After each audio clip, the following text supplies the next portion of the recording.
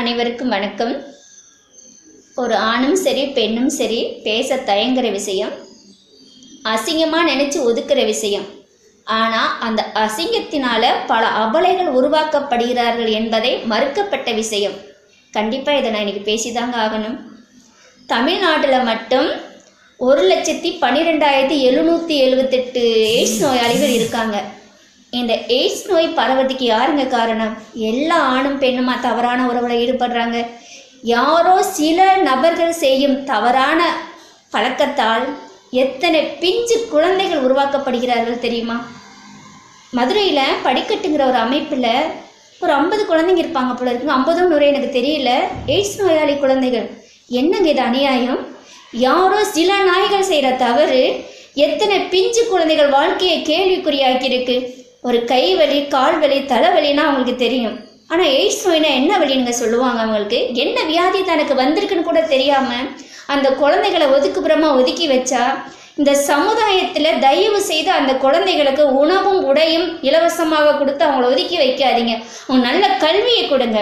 Doctor ம engineer வக்கீல் அவங்க என்ன வேணால் படிக்கட்டுங்க. நல்ல கல்வியை அந்த அரசாங்கம் கொடுத்து அவங்கள அந்த சமுதாயத்தில் ஒரு அந்தஸ்து மிக்க மனிதராக மாற்றுங்க தயவு செய்து எய்ட்ஸ் நோய் குழ எய்ட்ஸ் நோய் தாக்கப்பட்ட குழந்தைகளை ஒதுக்கி வைக்காதீங்க. இந்த மாதிரி ஒரு அமைப்பை உருவாக்கி உள்ள தள்ளாதீங்க.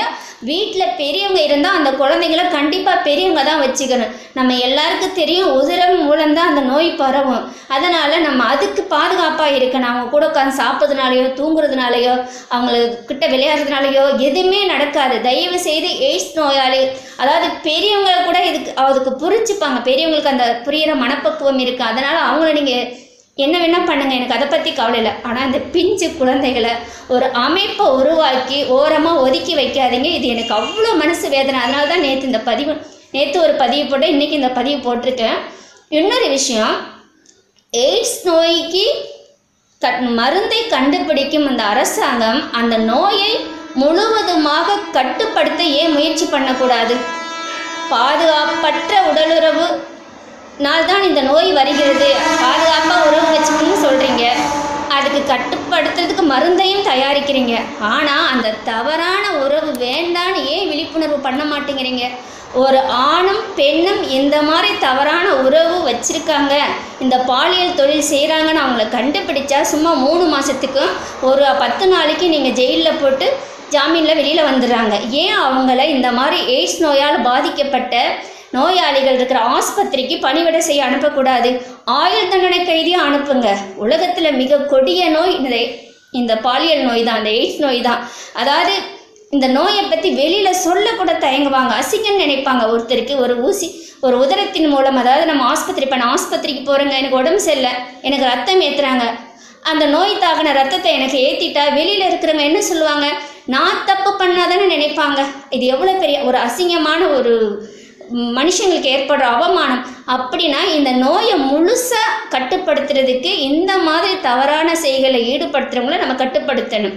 இந்த மாதிரி தவறான நபர்களை நம்ம கண்டுபிடிச்சா அவங்களுக்கு தண்டனையை என்ன தெரியுமா கொடுக்கணும்? எய்ட்ஸ் நோயால் பாதிக்கப்பட்ட குழந்தைகள் இருக்கிற இடத்துக்கு அவங்கள பணிவிடை செய்ய வேலை செய்ய அனுப்பணும். அது ஆயுள் முழுவதும் அவங்க அங்கே இருக்கணுங்கிற ஒரு கட்டுப்பாட்டை கொண்டு வரணும். அதே மாதிரி ஆஸ்பத்திரியில் எய்ட்ஸ் நோயாளிகள் ஆஸ்பத்திரிக்கு அவங்களுக்கு அனுப்பணும். முழுக்க முழுக்க அவங்க வாயில் இருக்கிற வரைக்கும் அவங்க உயிரோடு இருக்கிற வரைக்கும் அங்கே மட்டும்தான் அவங்க வாழணும். இப்படி ஒரு ரெண்டு மூணு பேருக்கு தண்டனை கொடுத்து பாருங்கள் நிச்சயமாக இந்த தொழிலில் யாரும் ஈடுபட மாட்டாங்க. இந்த மாதிரி நோய் பரவாது. நோய் பரவுவதை தடுப்பதற்கு முயற்சி செய்யும் இந்த காவல்துறை அந்த நோயே உருவாக்காமல் ஏன் தடுக்கக்கூடாது? இப்போ இருக்கிற சமுதாயத்தில் பத்து பத்து வயசுலேருந்து பத்தொம்போது வயசு இருபத்தஞ்சு வயசுக்குள்ளே அத்தனை எய்ட்ஸ் நோயாளிகள் இருக்காங்க. சரி என் போயிட்டு பக்கத்துலேயே இருக்காங்க வச்சுங்க எனக்கு தெரியுமா அவங்களுக்கு இந்த நோய் இருக்குன்னு? ஏதோ எனக்கு உடம்பு முடியல நான் போய் ஆஸ்பத்திரியில் படுக்கிறேன். அவங்கள பிளட்டு கொடுக்க சொல்கிறேன் அவங்க பிளட்டு கொடுத்தா அவங்களும் பாதிக்கப்பட்டு அவங்களால நானும் பாதிக்கப்பட்டு என்னோட குடும்பமே பாதிக்கும் இல்லை இது எவ்வளோ பெரிய கொடிய நோய்னு ஏன் மனுஷங்க யாரும் புரிஞ்சிக்கல? தயவு செய்து சினிமாவை பற்றி விமர்சனம் பண்ணுறோம் டிக்டாக் போடுறோம் என்னென்னமோ பிரபலமாகணும்னு நினைக்கிறோம். ஆனால் இந்த மாதிரி ஒரு சமுதாயத்தில் நடக்கிற சீர்கேடுகளை திருத்துறதுக்கு ஆணும் சரி பெண்ணும் சரி முன் வாருங்க. நமக்கு தெரிஞ்ச ஒரு நல்ல விஷயத்துக்கு இந்த மாதிரி பதிவாக போடுங்க. இந்த தொழில்நுட்பம் நிறைந்த இந்த வாட்ஸ்அப் ஃபேஸ்புக் முகநூல் எல்லாமே நல்ல விஷயத்தை பகிர உதவுங்க. ஒரு சினிமாக்காரங்களை பற்றி பேசிட்டு கட்சிக்காரங்களை பற்றி பேசிட்டு அடுத்தவங்க ஆடுற பாட்டுக்கும் ஆட்டுக்கும் ஆட்டத்துக்கும் நடனம் ஆடி பேர் வாங்குறதை விட ஏதோ ஒரு கருத்தாவது ஒருத்தரை திருத்துறதுக்கு உதவுற மாதிரி நம்மளோட பதிவுகள் இருக்கணும் தயவு செய்து யாரை வேணால் ஒதுக்கி வைங்க. ஆனால் அந்த எய்ட்ஸ் நோயாளி குழந்தைகளை ஒதுக்கிடாதீங்க. அவங்கள வீட்டில் வச்சுக்கோங்க. நல்ல படிப்பு கொடுங்க. ஏழையாக ரொம்ப வசதியில் கம்மியான குழந்தைகளுக்கு இந்த அரசாங்கம் அவங்க படிக்கிற எல்லா உதவியும் செய்யுங்க. தயவு செய்து இனிமேல் எய்ட்ஸ் நோய் நமக்கு இருக்குன்னு தெரிஞ்சிருக்கிற நோயாளிங்க உங்களுக்கு புண்ணியமாக போகுது கையெடுத்து கும்புறேன். யாரும் போய் ரத்த தானம் செய்யாதீங்க. ஏன்னா அந்த நோயோட கொடுமையும் தாக்கமும் உங்களுக்கு நல்லா தெரியும்.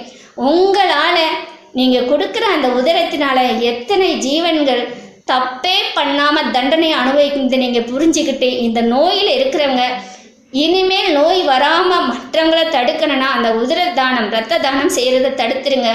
இந்த மாதிரி பாலியல் தொழில் செய்கிற பெண்கள் உழைச்சி சாப்பிடுங்கம்மா. உழைச்சி சாப்பிட்டா என்றைக்குமே சந்தோஷமாக வாழலாம். ஒரு அஞ்சு நிமிஷம் சந்தோஷத்துக்கும் ஐநூறு ஆயிரம் பணத்துக்கும் இந்த சமுதாயத்தை ஒரு கேவலமான சீர்கேடான நாட் நாடாக மாற்றிடாதீங்க ஏன்னா தமிழ்நாட்டில் தான் அதிக எய்ட்ஸ் நோயாளி இருக்கிறாங்கன்னு நான் கேள்விப்பட்டேன். கற்புக்கு பெயர் போன நம்ம தமிழ்நாட்டில் இன்னைக்கு இந்த மாதிரி பாலியல் தவறான பாலியல் உறவால் பல நோயாளிகள் உருவாக்கப்படுவது எவ்வளவு பெரிய அவமானங்கிறத புரிஞ்சுக்கிட்டு எல்லாருமே இதிலிருந்து ஒரு விழிப்புணர்வை நம்ம ஏற்படுத்த முயற்சி செய்யணும். இந்த எய்ட்ஸ் நோயால் நோய் வாய்ப்பட்ட இந்த குழந்தைகளுக்கு நல்ல படிப்பு கல்வியை கொடுத்து அவங்கள சமுதாயத்தில் அந்தஸ்து மிக்க மனிதராக மாற்றணும்னு இந்த காவல்துறையை நான் கேட்டுக்கிறேன். நன்றி வணக்கம்.